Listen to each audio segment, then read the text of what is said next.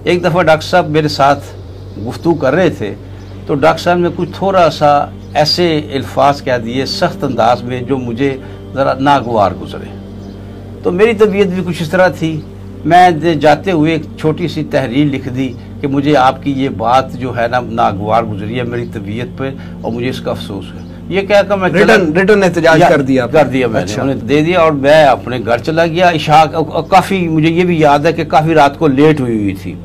मैं अपने घर चला गया रूटीन के एक इसको मामूली सा मामला समझ कर चला गया।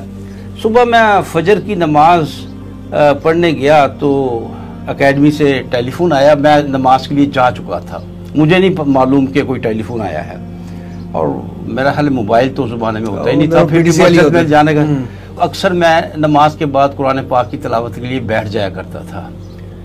तो जब मैं कुछ वक्त गुजारने के बाद बाहर निकला तो मेरा बड़ा बेटा अब जैसे कोई हामता काम होता हुआ आया कि वो जी डॉक्टर साहब आकर घर बैठे हुए हैं तो आप कहाँ हैं? आप अच्छा। हम्म। तो मैंने कहा बेवकूफ़ तुम्हें गलती लगी है वो डॉक्टर अब्दुल खालिक होंगे। वो उन दिनों में नाजमे आला थे गालबन या लाहौर के अमीर थे। वो जी मैं डॉक्टर को पहचानता नहीं हूँ। डॉक्टर साहब आए हुए हैं। बहरहाल मैं भागा भागा घर आया। तो डॉक्टर साहब तशरीफ़ फरमा थे। बहरहाल बैठ किया। मैं हैरान हूँ जब उनसे उनकी तरफ़ देख रहा था कि इस वक्त खैरियत है। तो उन्होंने कहा पहले ये बताएँ कि रात को जो बात हुई थी आप उसकी मुझे माफ़ी देते हैं? मैं आपसे माजरत करने के लिए आया हूँ। आप मुझे उसका ग्रेटनेस का अंदाज़ा अंदाज़ा हम्म। कीजिए इसके एक शख्स की अजमत का।